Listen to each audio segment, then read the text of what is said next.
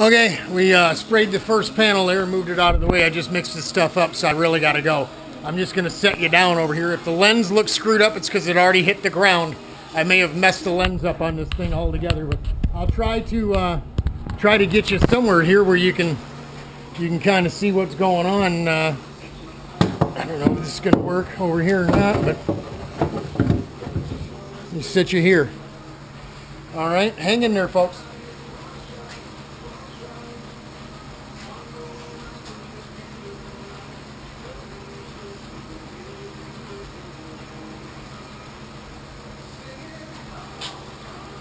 Can't believe it. Let me see if you.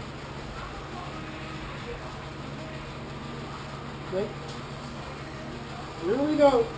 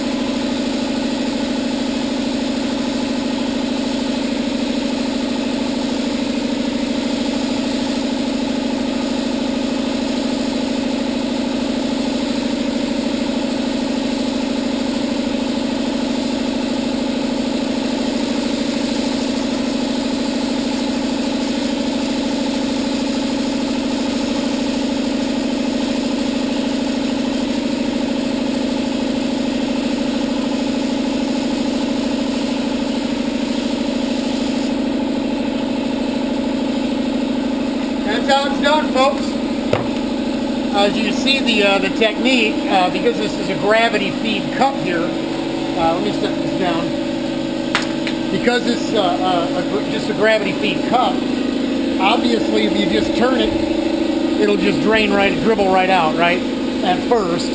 Um, so you, you have to tip it and spray it at the same time, hit the air tube at the same time. You start with the, uh, the vertical parts, because let's be honest, as it, as it gets low on fluid, uh, then you turn to a, um, the, the horizontal or flat stuff, and the fluid, the, the, the smaller amount is going to flow out easier than it would be aiming it this way. So you always start with your, your vertical stuff first, and then work onto your flat stuff, and then go back, because it, it's always going to give you, you know, always want to give you some more here. It's just a naturally more easy thing for gravity to do is go down uh, than go, you know, maybe more across. So um, that's it. It's about the pattern you're looking for. This is a little heavy here. As you can see, it's kind of real smooth. Um, I don't see any spots where it's too thin. Uh, if it was, it would be a real tight, sharp, pointy pattern to the uh, to the gel itself. Uh, I don't see anything on this one either. This all looks really good.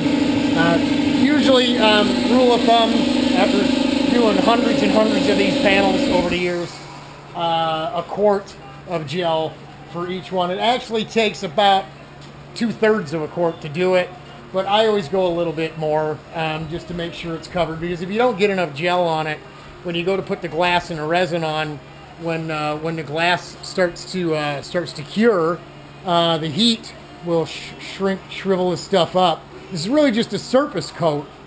Um, you can lay the glass and resin right on the mold and it'll pop off, but it won't have that surface coat to it. It'll have little tiny air bubbles all over the place. So uh, this gives you a, a, surface coat and uh, when you wet out the glass, it etches into this stuff, even though it'll be relatively dry to the touch. um, yeah, so that's uh, that's that's how we how we spray some side panels. Uh, we're going to cut up the glass and get it ready to go and then go get us a drink of water, get out of these clothes for a little bit.